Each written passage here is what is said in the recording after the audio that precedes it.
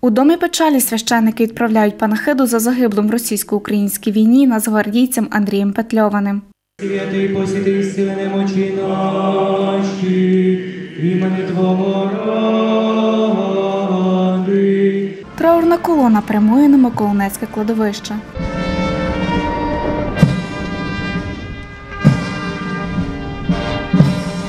Військовослужбовця ховають на алеї героїв Миколинецького кладовища. Попрощатися з Андрієм Петльованим прийшли рідні, друзі та знайомі. Серед них Наталія Вербіцька.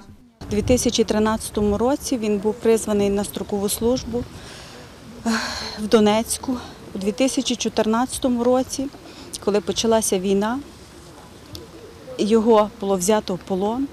Після полону, після визволення з полону, е, він е, все-таки е, підписав контракт з Національною гвардією України і на три роки і залишився служити Україні. За словами Наталії Вербіцької, Андрій загинув 6 серпня.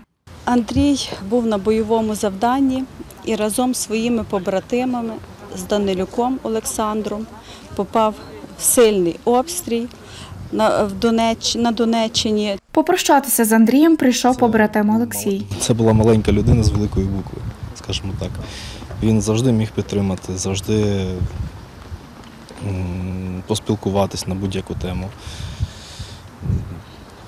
Це дуже велика втрата для нас всіх. Спогадами про Андрія Петльованого поділився його побратим Андрій Пестрак. Були на сході разом. Хлопець був веселий. На нього можна було покластися. У Андрія Петльованого залишилися мама та брат. Тетяна Панченко, Василь Панчук, Суспільне новини, Тернопіль.